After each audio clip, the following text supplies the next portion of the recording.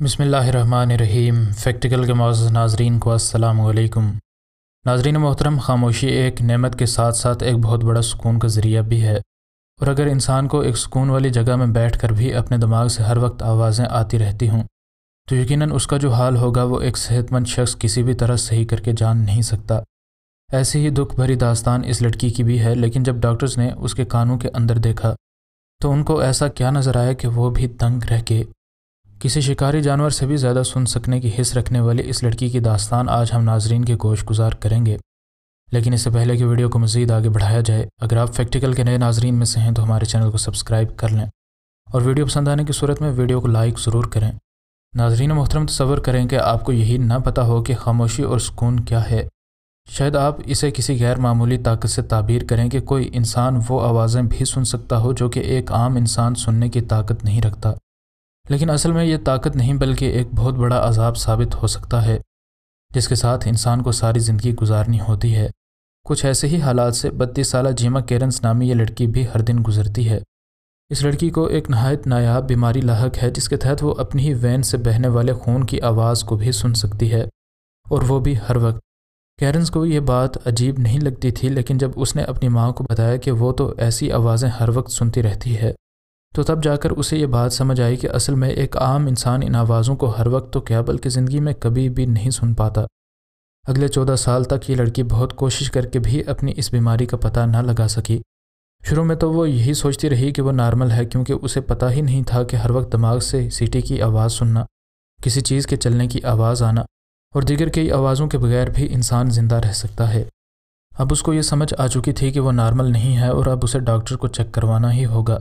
जिना ने डॉक्टर्स को बताया कि मैं अपनी आँखों की हरकत करने की आवाज़ हती कि अपने दिल की धड़कन भी हर वक्त महसूस कर सकती हूँ। डॉक्टर्स के लिए यह कंप्लेन इंतहाई अजीब थी, क्योंकि उन्हें भी नहीं पता था कि इस बीमारी का इलाज भी है या फिर यह बीमारी है भी या नहीं। सालों तक जिना को बंद नाक और बंद कानों को खोलने की दवाइयाँ डॉक्टर्स देते रहे, लेकिन उस पर कोई भी चीज़ कारगर साबित न हुई। किसी शिकारी जानवर से भी ज़्यादा सुनने की हिस्स रखना एक ऐसा अजाब था जिसको जीना को अब अपनी रहती ज़िंदगी तक बर्दाश्त करना था। अब उसका बच्चा भी हो चुका था, लेकिन उसको अपने बेटे की देखभाल भी करना मुश्किल साबित हो रहा था। और वो हमेशा इस चीज़ से डर कर ज़िंदगी गुजारती थी कि कहीं उसको कोई ऊँची आवाज़ सुनने को ना मिल जाए। 2016 में वो बरतानिया के एक शहर ग्लासगो में शिफ्ट हो गई और तभी उसकी ज़िंदगी बदलने लगी। वो एक स्पेशलिस्ट डॉक्टर से मिली और डॉक्टर्स ने काफ़ी तगदो के बाद उसको लाक मसले का पता चला लिया।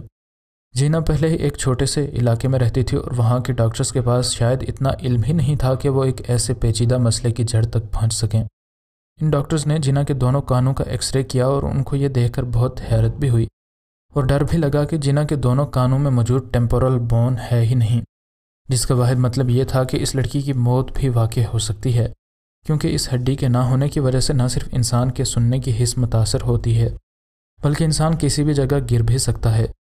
जीना सोते हुए भी सुकून से सो नहीं सकती थी और हर वक्त वो किसी न किसी तरह के शोर को ज़रूर महसूस करती रहती थी।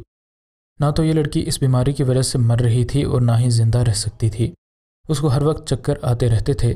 जीना के डॉक्टर्स ने उसे पहली बार उम्मीद दिलाई कि एक ऑपरेशन के ज़रिए उसके कान में मौजूद इस मसले को ठीक किया जा सकता है। जीना के एक कान को पहले ठीक किया जाना था और इस दौरान जीना के लिए चलना भी महाल था, क्योंकि उसके लिए बैलेंस करना भी बेहद मुश्किल था। और जब उसका ये कान ठीक हुआ तो उसके बाद जाकर जीना के दूसरे कान का भी ऑपरेशन किया गया।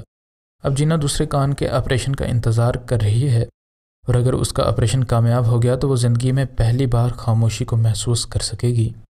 मज़ीद नई वीडियोज़ के लिए हमारे चैनल को सब्सक्राइब कर लें। वीडियो पसंद आने की सूरत में लाइक और शेयर ज़रूर करें। इन मिलते हैं अगली वीडियो में। फ़ी अमान अल्लाह